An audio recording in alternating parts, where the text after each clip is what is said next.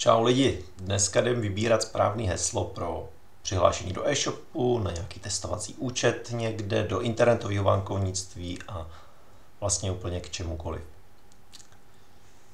Tak jo, budeme na to používat správce hesel. To je taková věc, která nám umožňuje si pamatovat jenom jedno heslo a všechny ostatní nechat, nechat prostě technologii, ať si to pamatuje za nás. Takže přihlásíme se do našeho správce hesel, ještě tady máme dvoufaktor na flash disku a jsme tu. Jdem na to.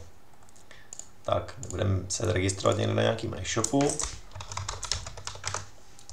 Máme tam třeba login Martin a teďka, no tak jaký dáme heslo? Já nevím, tak třeba Martin 2020, to by nikoho určitě nenapadlo, že jo?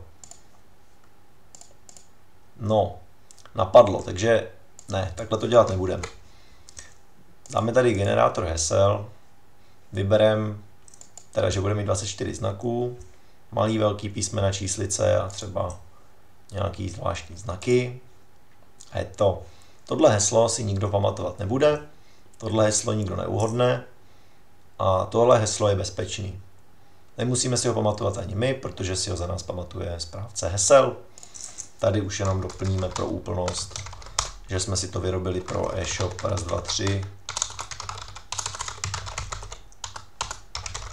a, a máme hotovo. Uložíme a od teďka už tady stačí kliknout, skopírovat heslo nebo CTRL-C a vložit si ho do kolonky, kam potřebujeme, nebo použít nějaký sofistikovanější věci.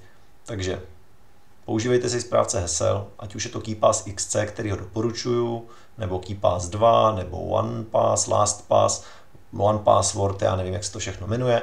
A když máte šifrovaný počítač a nikdo ho nepoužívá jiný kromě vás, tak se nebojte si tady ty hesla pak i uložit třeba do webového prohlížeče, aby se vám to doplňovalo samo, nebo v těch dedikovaných správcích hesel si je prostě napojte na prohlížeč, který používáte, nechejte to doplňovat za vás, případně používejte tady automatické doplňování a máte po starostech. Pamatujete si jedno pořádné heslo do správce hesel a všechny ostatní hesla do každé služby je jiný a pokud nějakou službu, do které jste se přihlašovali hacknout, tak vám prostě to heslo, i kdyby tam bylo uložené úplně tupě v čistém textu, neukradnou tak, aby ho použili na cokoliv jiného, protože takovýhle heslo se na žádný jiný službě, co máte, nepoužívá a jste v tom případě v bezpečí.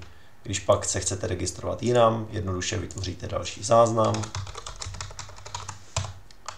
nějaký přihlašovací údaje a zase to necháte na tom programu, aby vám udělal heslo příslušné délky. Pokud je nějaký hloupý e-shop, který nedovoluje víc než 20 znaký heslo, no tak dáte jenom 20 znaků, hopla, uložíte případně adresu a máte vystaráno. Takže tohle je ukázka, jak se vybírá správný heslo. Není to o tom, že budete kombinovat, jestli tam bude Martin Potržítko 2020 nebo Martin Potržítko vykřičník 2020 vybodnete se na tohle všecko, potřebujete si naučit jedno pořádné heslo do správce hesel a potom možná druhý do, eh, pro zapnutí počítače a všechny ostatní hesla už nechte na tom správci hesel a nechte si hlavu na chytřejší věci než na, než na hesla.